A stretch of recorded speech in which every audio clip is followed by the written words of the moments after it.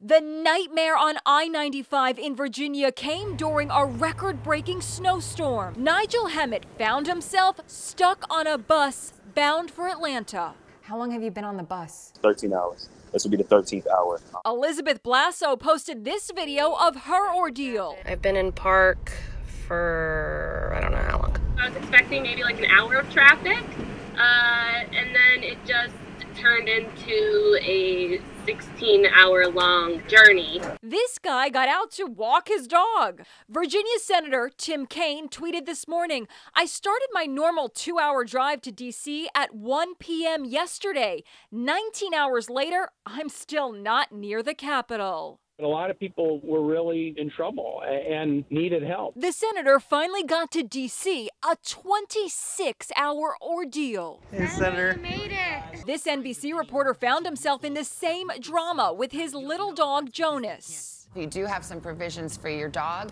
What are people doing just to survive the night? I saw a number of people taking uh, whatever bowls or, or, cups they had and taking snow uh, in case that that might eventually melt and make more water.